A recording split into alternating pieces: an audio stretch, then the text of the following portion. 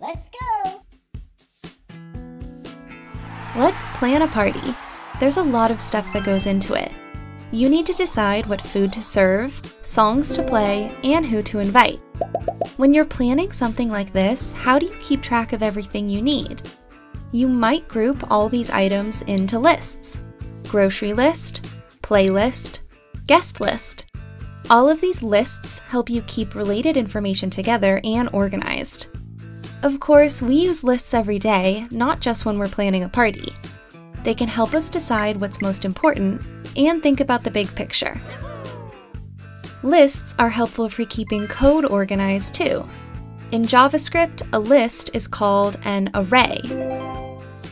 You can store related pieces of data together in one place within a program. So why is this important? Remember, in coding, a variable is useful for storing a single value that can change. But as we collect more information, keeping variables organized can be tricky. For example, let's say you want to create a program to keep track of the names of all your party guests. For the first friend, you could create a variable and store their name as a string, like this. And for a few names, this is no big deal. But what if you wanted to invite everyone in your class or school? Do you even know how many people go to your school? It would be really hard to keep track of so many variables, especially if you don't know the number of names ahead of time. Instead, use an array. An array is like a container that keeps similar things together in a single ordered list. The container can grow or shrink to fit the number of items inside. In other words, it's just a variable that can store multiple values. Just like you can assign a single value to a variable, you can store an entire array of values in a variable too. This list is only four items long, but in code it could be hundreds or thousands of values. In JavaScript, an array looks like this values separated by commas and stored in brackets. These are all strings, but an array can also store integers, or both. Let's see what arrays look like in Kodable. The last time we checked in with the Fuzz family, they had just used their knowledge of integers to destroy the numbered asteroid field. But now they've run into asteroids that have two different types of values, strings and integers.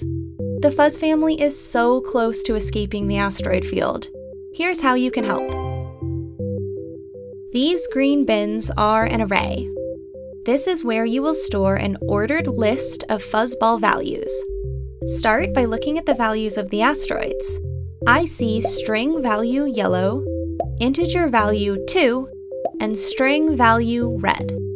Choose the matching colored and numbered fuzzballs to store in your list. Order matters. The fuzzball you store in the first spot in the array will blast first. Tap the fuzzballs to load the array, and then tap to aim. If the fuzzball meets with an asteroid of equal value, they will clear. Uh-oh, now I need a fuzzball with a value of 2, but the one stored next in my array is red. It looks like I stored the values in the wrong order, but that's okay. Variables can change, and I can switch the order of the values in the array. Like this. Let's try again. When the order of the fuzzball values stored in the array is correct, we can blast them one by one at the asteroids and clear a path for the fuzzes. Happy coding! Let's go!